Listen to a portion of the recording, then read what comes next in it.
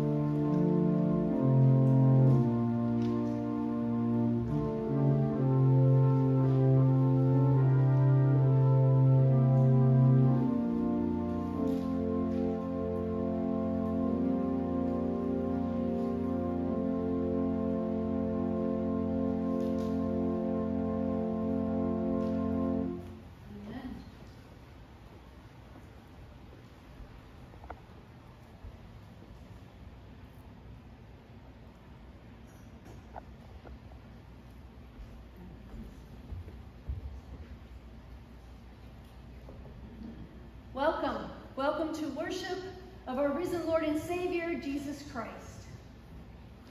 Please join me in our call to worship. This is the day the Lord has made. Let us rejoice and be glad in it. This is the day the Lord has made. Let us rejoice and be glad in it. This is the day the Lord has made. Let us rejoice and be glad in it. Let us pray. Lord God, we come to you this day to worship you, to give you thanks and praise. We come to you this day with so much on our hearts and in our minds. But Lord, let us put those things aside and sit at your feet as we worship. Lord, you are God. And we gather humbly before you this day to praise your holy name. And it's in Jesus' name that we come in the spirit of truth to love you back. In Jesus' name we pray. Amen.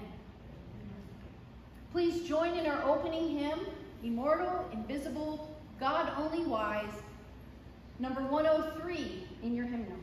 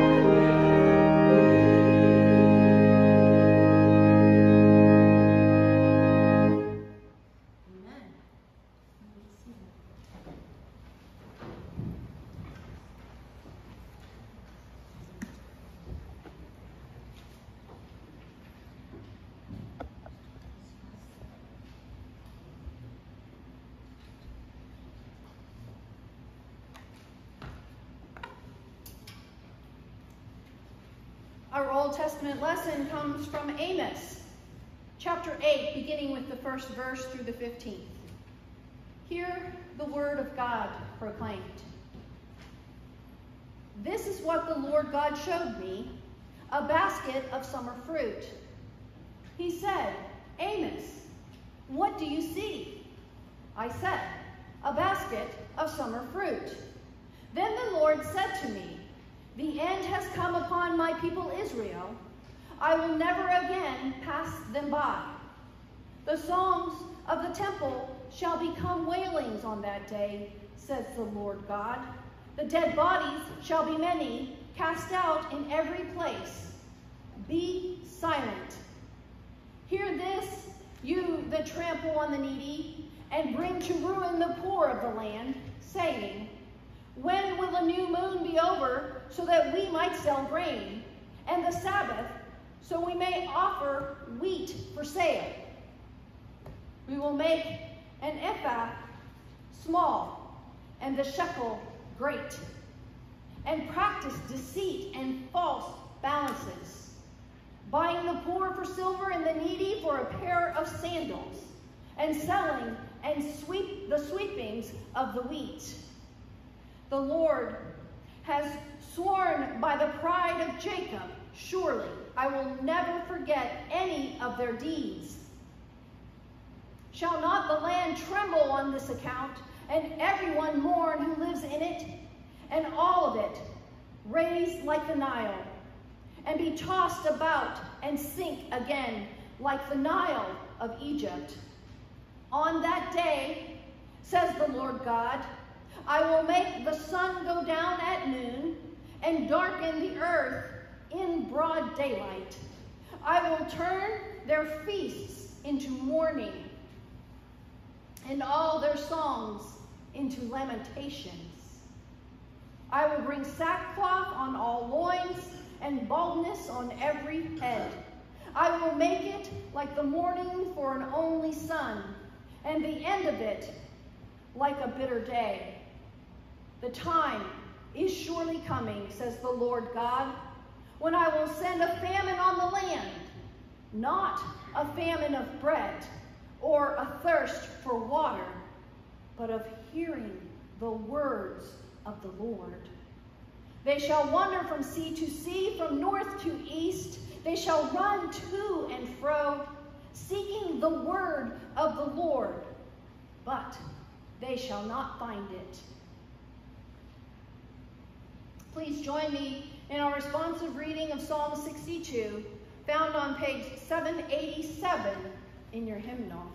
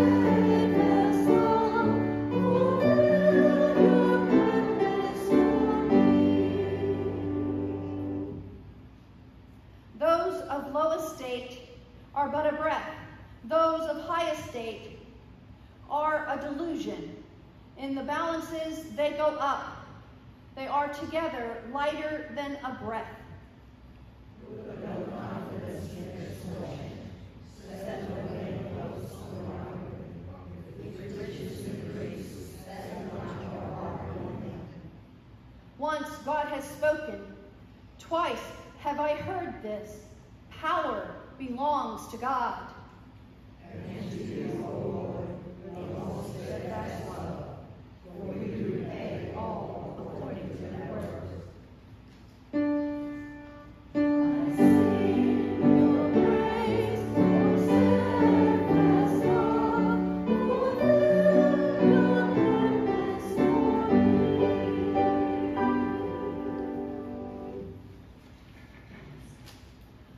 Testament lesson is from Colossians chapter 1, beginning with the 15th verse through the 28th. He is the image of the invisible God, the firstborn of all creation. For in him all things in heaven and on earth were created, things visible and invisible, whether thrones or dominions or rulers or powers. All things have been created through him and for him. He himself is before all things, and in him all things hold together. He is the head of the body, the church. He is the beginning, the firstborn from the dead, so that he might come to have first place in everything. For in him all the fullness of God was pleased to dwell and through him, God was pleased to reconcile himself to all things, whether on earth or in heaven, by making peace through the blood of his cross. And you, who were once estranged and hostile in mind, doing evil deeds, he has now reconciled in his fleshly body through death, so as to present you holy and blameless and irreproachable before him, provided that you continue securely established and steadfast in the faith, without shifting from the hope promised by the gospel that you heard, which has been proclaimed to every creature under heaven. I, Paul, became a servant of this gospel. I am now rejoicing in my sufferings for your sake, and in my flesh I am completing what, was, what is lacking in Christ's affliction for the sake of his body, that is the church. I became its servant according to God's commission that was given to me for you, to make the word of God fully known, the mystery that has been hidden throughout the ages and generations but has now been revealed to his saints. To them God chose to make known how great among the Gentiles are the riches of the glory of this mystery, which is Christ in you, the hope of glory. It is he whom we proclaim, warning everyone and teaching everyone in all wisdom, so that we may present everyone mature in Christ. This is the word of God for the people of God. Thanks be to God. Amen.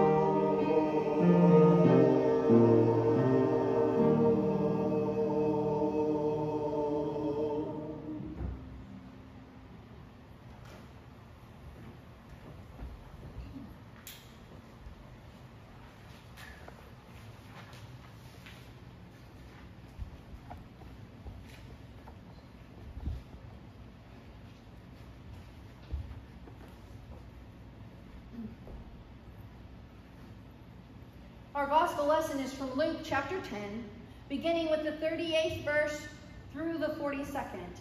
As you are able, please rise for the reading of the gospel.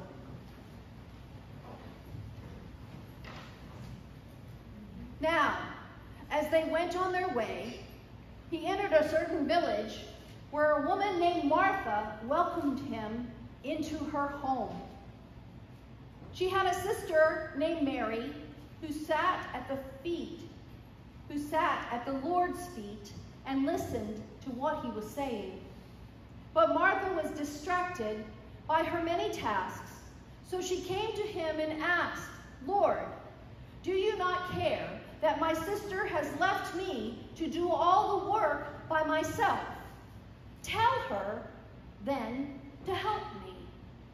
But the Lord answered her, Martha, Martha, you are worried and distracted by many things. There is need for only one thing. Mary has chosen the better part, which will not be taken away from her. This is the gospel of our risen Lord and Savior, Jesus Christ, according to Luke. Thanks be to God.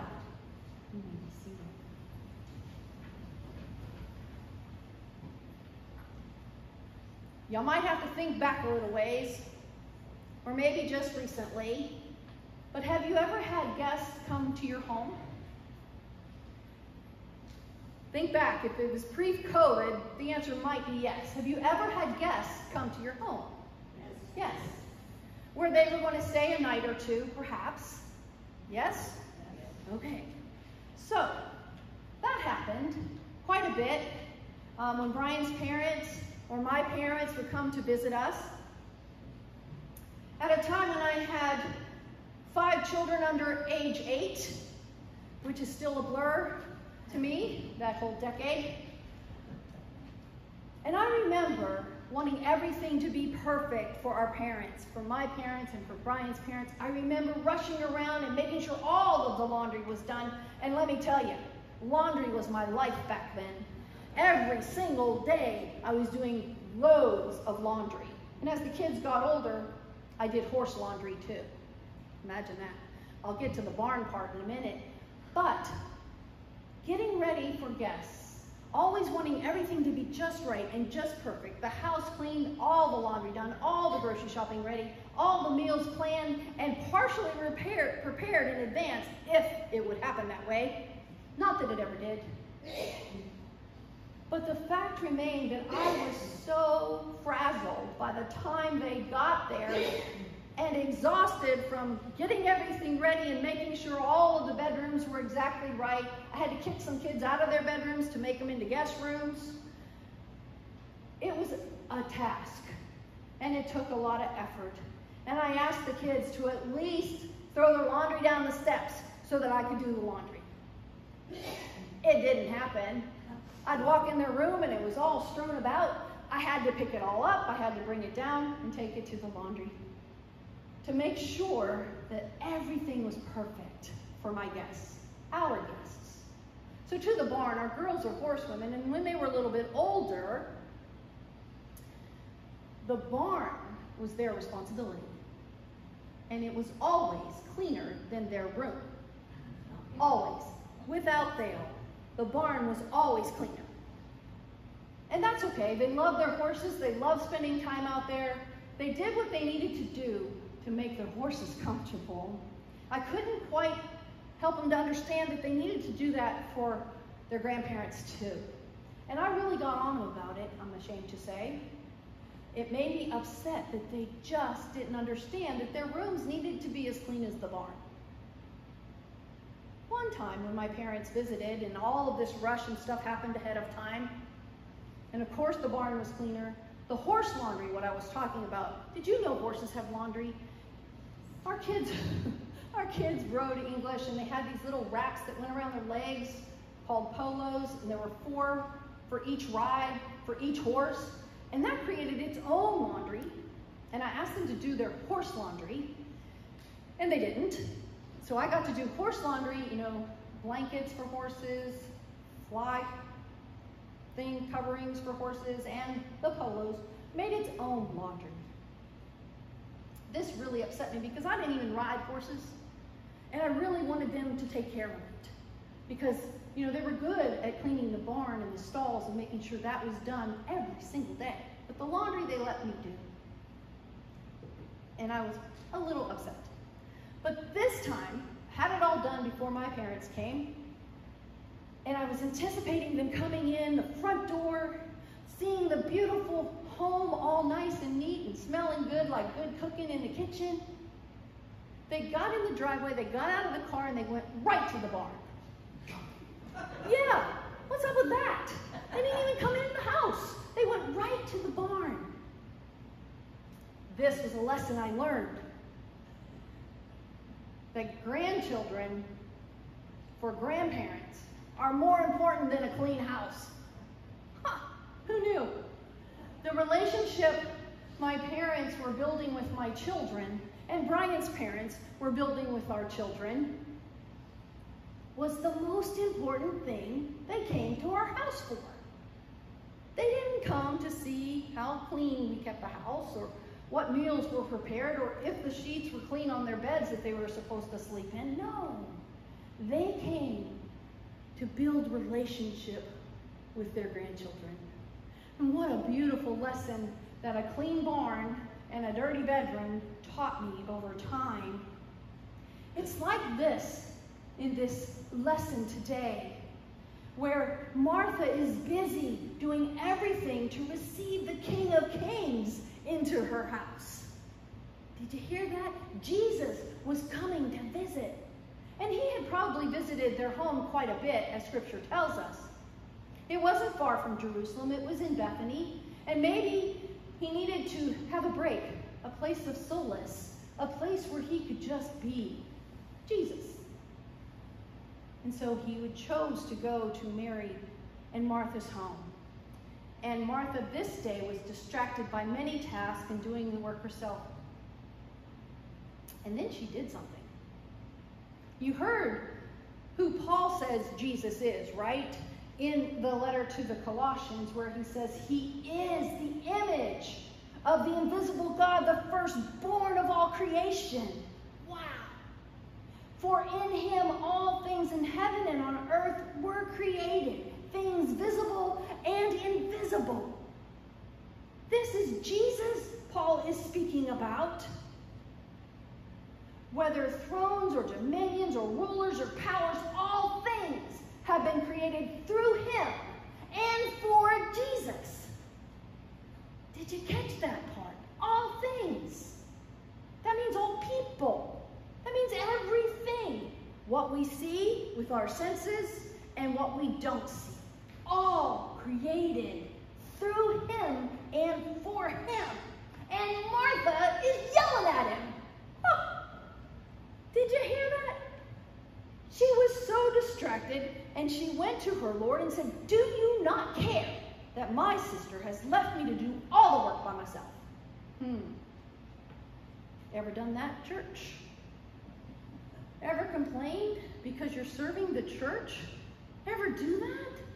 Ever wonder where the help is that said they'd show up and they didn't? Hmm. Then she says this. She's telling God, Jesus, second person of the Trinity, who's made in the image of the invisible God, the firstborn of all creation, for in him all things in heaven and on earth were created, the visible and invisible. You get the point.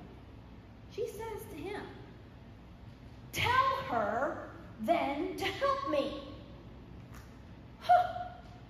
The nerve of her telling the Lord of Lords, King of Kings, Prince of Peace what to do. Do you ever do that, church? Do you ever tell God what to do? Huh?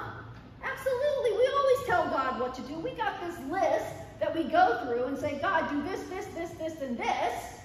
Granted, we call it praying. But did you ever stop doing that and then just sit at the feet of Jesus, waiting on the Lord, trusting in his goodness and in his mercy and his knowledge of everything that is you? And then listen for what he has to teach you. Be a disciple. Follow Jesus by learning from Jesus what Jesus would have us to know. When you were getting ready for worship today, did you have to have everything just right? Your clothes pressed, all clean and shiny? Coming to church. Did you have to prepare to come to worship? Did you have to physically prepare clothing, nourishment, all of those things in order to come to worship? Yes? No? Did you do it? Yeah, absolutely. So when you woke up this morning, how did you prepare to come to worship? Was it a list of things you had to do for appearance's sake? Or did you, the first words out of your mouth, I'm going to tell you what mine are, but I'm going to ask you what yours are. What are the first things you say when you wake up? In your heart, in your mind. Anybody? Thank you. Pat, what did you say? Thank you for another day. Any other thoughts when you first wake up? Bathroom, maybe? Coffee. Oh, yeah, coffee. So when you're preparing to come to worship, do you prepare your heart to hear what God has for you to say? Do you prepare your idea of who you are before God, a sinner? Do you prepare your heart and mind to be humble before Almighty God and worship Almighty God with the saints surrounding the throne? This is who we worship. This God Almighty is who we worship. Are you preparing for that when you come to church? So I got another kid's story for you. Inevitably, with five kids, somebody would lose their Sunday shoes regularly. When we were preparing to get the kids all dressed and in the van and ready to go to church, the minivan, I called it a domestic goddess mobile. But really, it was just a minivan. And we'd be late to church. And you know, when seven people walk into church late, People turn around and look. That happened. People turned around and looked and watched us all sneak into the pew, loudly, I might say. And I was so frustrated by that. Didn't know how to fix that. Couldn't understand why this one child would inevitably lose one shoe, one church shoe, one dress shoe. However, I had a dear friend who said, This is what my mama did to fix that. We had to leave our church shoes in the car. Period. Ta-da! A revelation, a simple solution. So all five of our kids left their church shoes in the car after we left church that day. When they got out, the church shoes stayed in the, in the van. The next Sunday, no looking for church shoes. They walked out to the van barefoot and put on their church shoes, and they were all there. I love that. A simple solution to something that was so distracting and so frustrating, a simple thing. I could have just sent them all to church barefoot or with one shoe on and one shoe off. But this beautiful, simple solution helped me to understand I'm distracted and worried about many things and not the thing I should be preparing for. Preparing to sit at the feet of Jesus, to hear the word of God proclaimed, to be present with the most holy God on purpose, with brothers and sisters in Christ. This message that Jesus is telling to Martha is beautiful and it's a lesson for all of us the beautiful thing, there's a couple of things going on in this passage, but one of them is that Mary dared to sit at the feet of Jesus and learn from him. She was a woman, and so in that day, relegated to the domestic chores of the household. But she dared to sit at the feet of Jesus, the great teacher. Granted, it was her home, so most likely she felt very comfortable doing so. But in the temple, that would have never happened. Only men were in the temple and women were relegated to another space. So it wouldn't have happened necessarily that Mary would have been identified as a disciple. Granted, there were many disciples, and we know. But in this instant, the fact that Jesus accepted her as he was teaching proved that Jesus' teaching is for all men, women, it doesn't matter. And so when he said to Martha, and get this, this is beautiful. I'm sure he didn't say, Martha, Martha, wake you up, huh? No, I'm sure he said, Martha, and looked into her eyes lovingly and not only said her name once, but twice, saying, Martha, you are worried and distracted by many things. There is need for only one thing. And Mary has chosen the better part, which will not be taken away from her. Don't miss this beautiful lesson, church.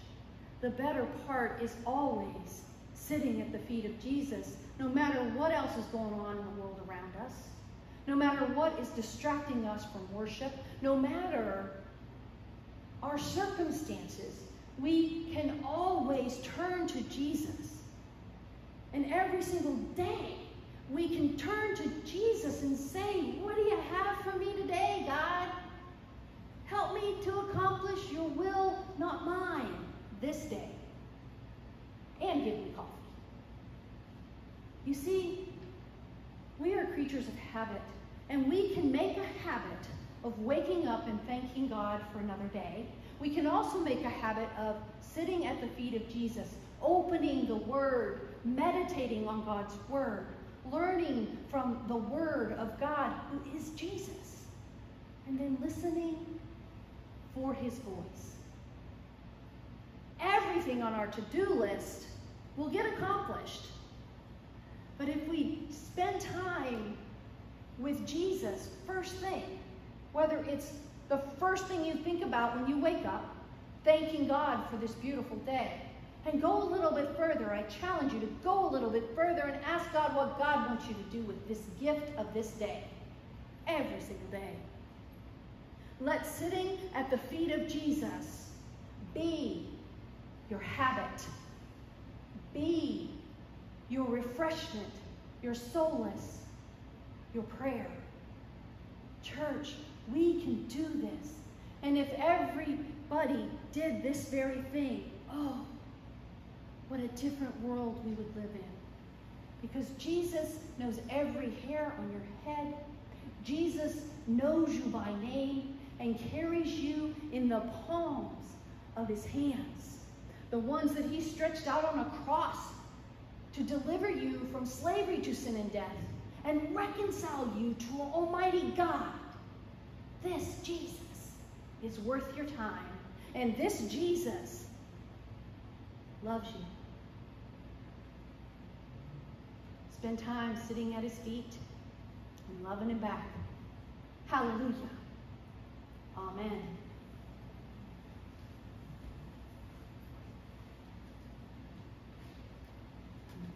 As a response to the word, let us rise and sing, Oh Jesus, I have promised, number 396 in your hymnal.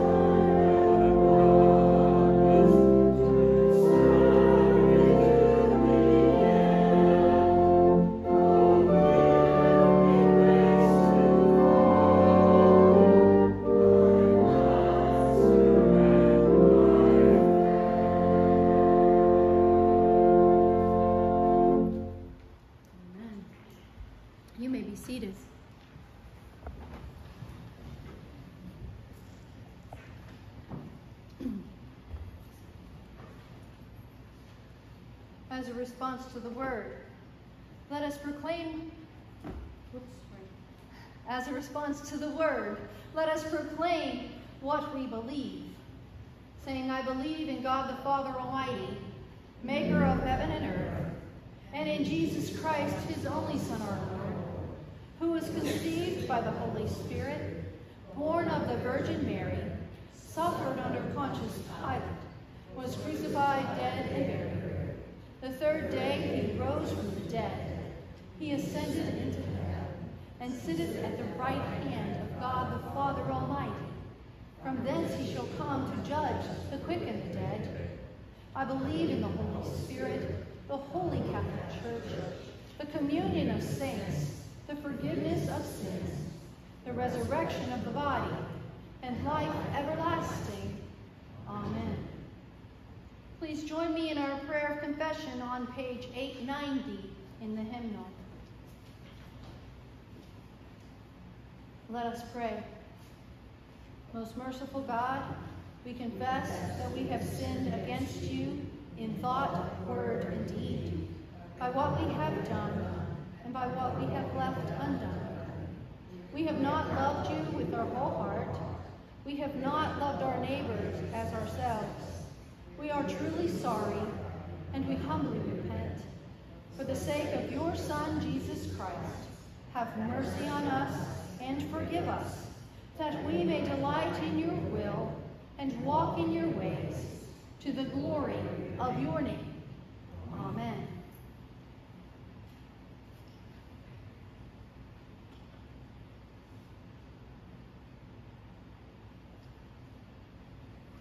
Almighty God, have mercy on you. Forgive all your sins through our Lord Jesus Christ. Strengthen you in all goodness, and by the power of the Holy Spirit, keep you in eternal life. Amen. Let us offer one another a sign of Christ's peace and love.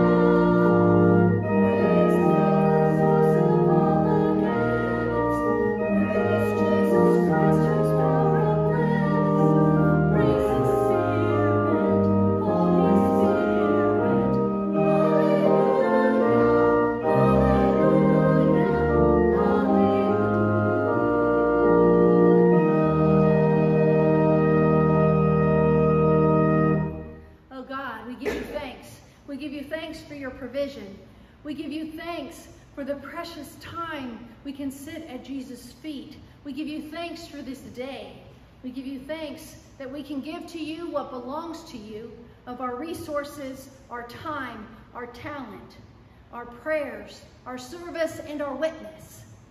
Thank you, God, for everything you gift us with each and every day.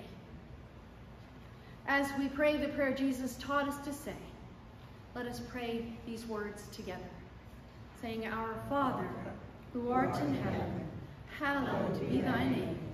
Thy kingdom come, thy will be done on earth as it is in heaven. Give us this day our daily bread, and forgive us our trespasses, as we forgive those who trespass against us. And lead us not into temptation, but deliver us from evil. For thine is the kingdom, power, and the glory, now and forever. Amen. Please join in our closing hymn, Take My Life and Let It Be, number 399 in the hymnal.